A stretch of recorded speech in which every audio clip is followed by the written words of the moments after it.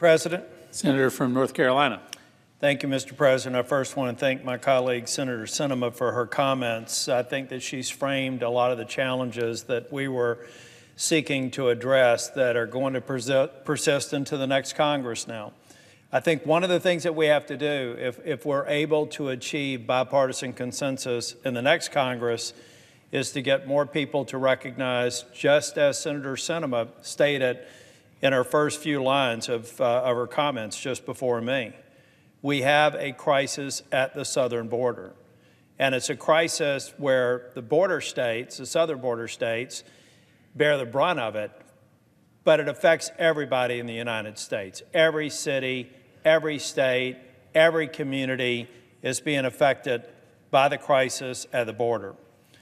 I think this administration has to recognize it's, it's interesting if you watch the news coverage how suddenly one end of the spectrum says now is time for Congress to act.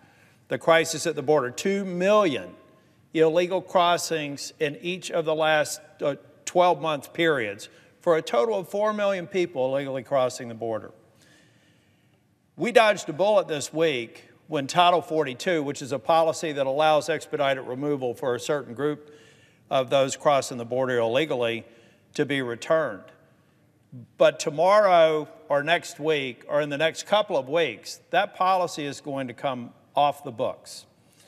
Then Border Patrol says that they will no longer have control over the border. They already have said that they can barely keep up.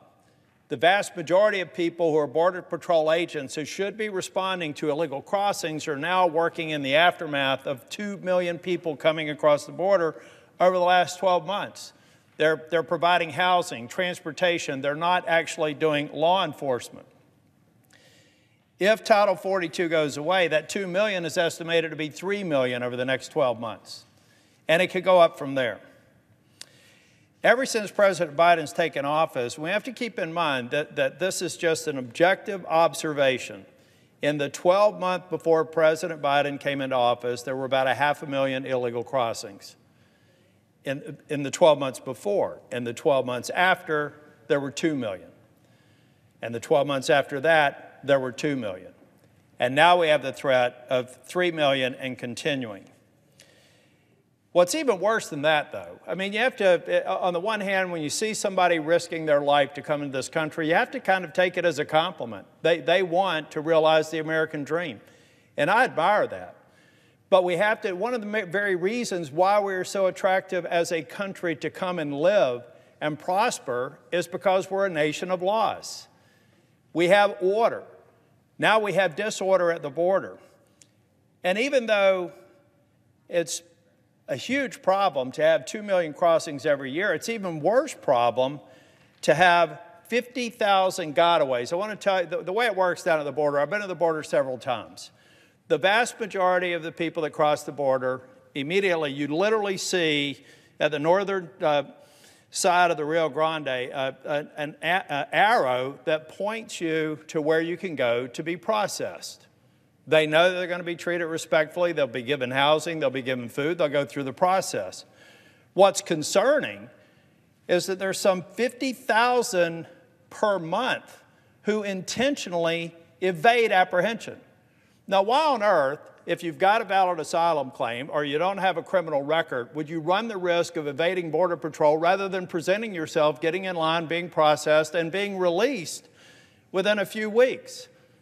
The reason for that is that many of them have criminal background records. We had 750 uh, recently apprehended who were uh, documented members of gangs in their, in their country of origin.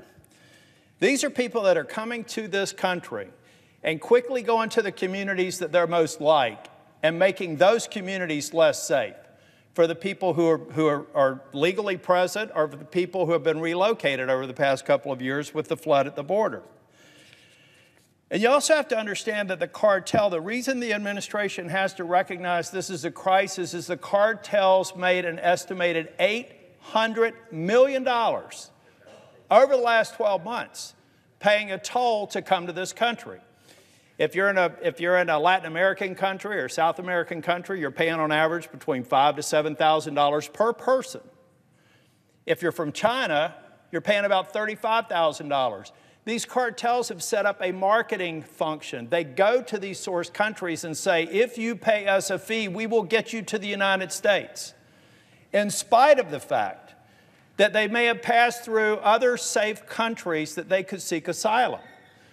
That's what we talk about when we're talking about abusing our asylum system. Our international treaties say that if somebody comes to you and you have a credible fear for your life or your family's life in the country that you live, relate, relocate to a country that can grant you asylum and go through the process. But what the cartels are saying, pay us a fee, we don't care where you are in the world, literally, and we will get you to the United States. And you will pass through several countries where you could have applied for asylum in between. And then when you get here, the cartels have coached them on exactly what to say to make you think that they have a credible asylum claim, in spite of the fact that with hundreds of judges, Democrat judges, Republican judges, independent judges, 80% of those asylum claims are deemed not to be credible. So the asylum system is broken. It has to be fixed. It's one of the foundations of any kind of framework that I could support. The border has to be secured, and we need more technology and more enforcement at the legal ports of entry because those same cartels that are making $800 million a year are spending that money to then send truckloads of fentanyl and dangerous drugs poisoning and killing Americans.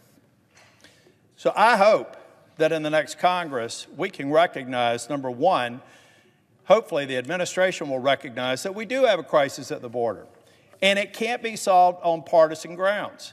We have to have a conversation. Both ends of the political spectrum need to recognize that you've got to move to a point to where we can produce a solution.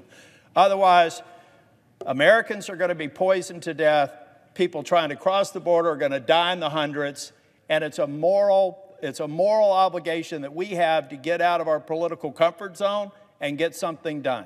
Otherwise, the deaths, the blood of the people who die as a result of inaction are on the hands of everybody in this room. Thank you, Mr. President. Mr. President.